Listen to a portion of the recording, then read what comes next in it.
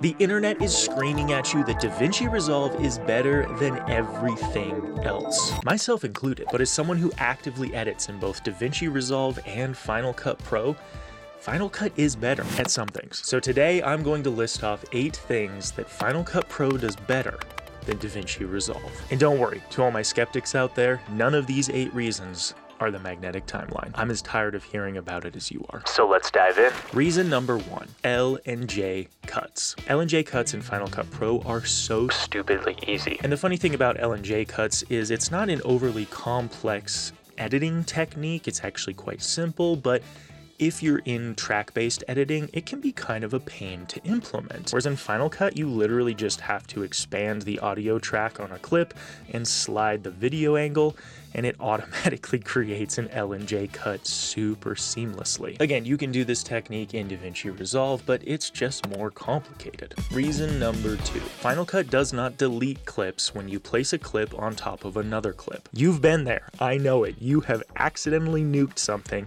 in Premiere Pro or DaVinci Resolve because it's track based editing and it just lets you put stuff right on top of stuff and you never get it back until you hit Command Z a thousand times or find it again. I mean, again, you, depending on how far you go, it's not even worth it, but you've lost it. I love that in Final Cut, if I throw something on the timeline, if I accidentally am going to place it on top of something, it asks specifically, do you want to replace the clip? Which is great because nine times out of 10, I actually don't, and it was an accident. Okay, and I'm not trying to be too much of a tease here, but your boy did finally try CapCut. Don't worry, video coming out on it. It's it's it's, it's in the pipes. It's in the it's in the chamber ready to go. And spoiler alert, CapCut has the ability to do a similar thing that it's it's it's still sort of track based, but it doesn't overwrite tracks just like Final Cut. Black magic. It can be done. Please do this. Reason number 3. Multicam. Multicam editing is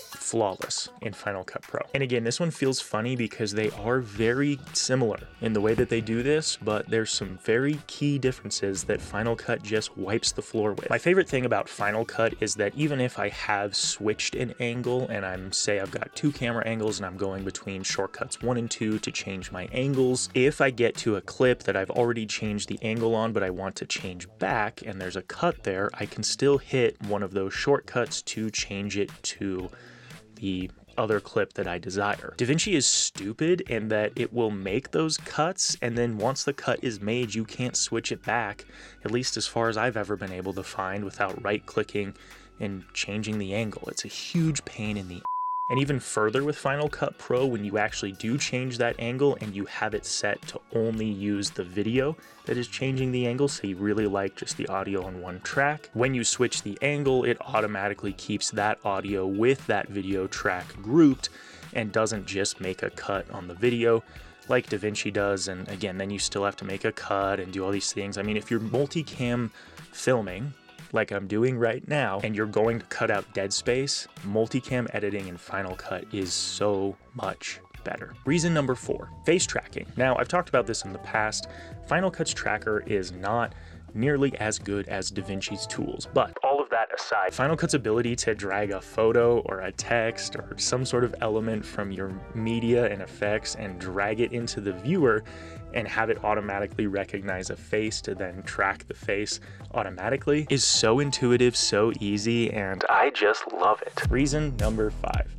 This one is kind of a cheat, but I have to talk about it. AddMotion by FX Factory has changed my life. Keyframing sucks. Even someone who loves graphics and animation, I will admit, keyframing sucks. And AddMotion for Final Cut is the best tool I have ever used to animate graphics. Everything you've been seeing on the channel lately, both shorts and long form from me, all of the little graphics and whatever is because of Final Cut and AddMotion. That is what has been saving me hours of time and keeping me creative.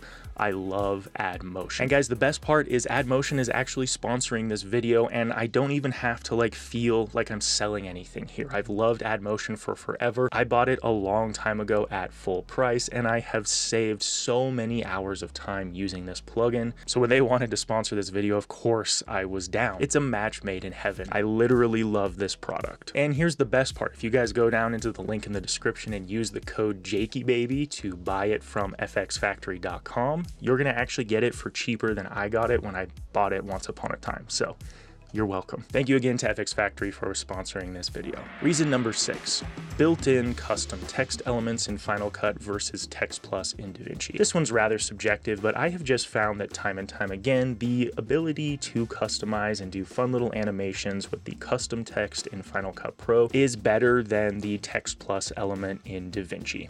And again, this is kind of a common theme, but Final Cut out of the box gives you more power, more customization that's easier than what Resolve does out of the box, but Resolve has Fusion. So again, for 99, 98% of what I do, I love the custom text element. And if I can't quite get what I'm looking for, again, that's where you would want something like DaVinci. But 98% is almost everything I do. 60% of the time, it works every time. Reason number seven, the green screen effect in Final Cut. It's literally drag and drop 99% of the time for me. I know it's not that hard to do green screening in DaVinci, but the fact that I can just go into my effects in Final Cut and drag it onto a clip that has a green screen and it automatically detects the color roughly the best that it can and in my experience is like pretty much always spot on it just saves time and i just love that so green screen for the win in Final Cut. All right, and reason number eight, the preview cursor playhead in Final Cut is amazing. If you've never used video editing software that has this feature, I always thought Final Cut was the only one,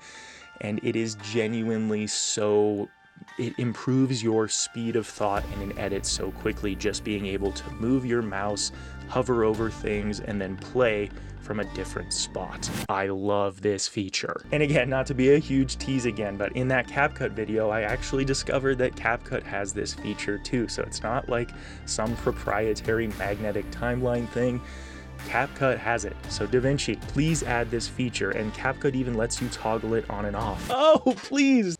Resolve, I would cry if you added the secondary playhead. I, I would cry. It'd be amazing. All right, guys, that is everything from me today. Again, you know me. I'm all about the right tool for the right job. So if any of this stuff resonated with you in terms of like, hey, I do that in my editing, or I love what Jake does, and I think I do a lot of similar things, you might want to consider Final Cut over DaVinci. But of course, as always, if you heard this and you're like, oh no, I need all of these things that DaVinci has, like that's great. I've, I've been there. I'm there all the time. I'm usually using it. Again, I use both interchangeably, but on this channel, we're all about everything editing, I want to equip all of you with the right tools and knowledge to make the best decisions to go tell and cut the best stories. So with that being said, I'll let you guys go. I'm gonna get back to editing. Again, don't forget to use code JakeyBaby to get that sweet discount on AddMotion. It's so good.